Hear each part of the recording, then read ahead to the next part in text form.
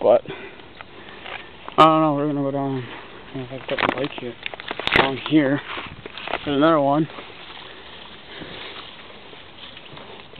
This looks bad enough. Enough. Well, I'll get more video, so everybody hold on.